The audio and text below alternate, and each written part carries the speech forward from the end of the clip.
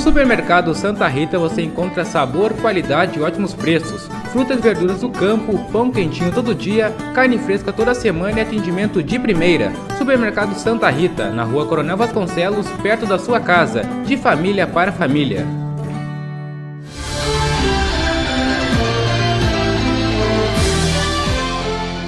Um jovem de 17 anos, identificado como Fabrício da Rosa Toledo, acabou falecendo após se envolver em um grave acidente na noite do domingo 26 de novembro na estrada São José, interior de Cerro Grande do Sul.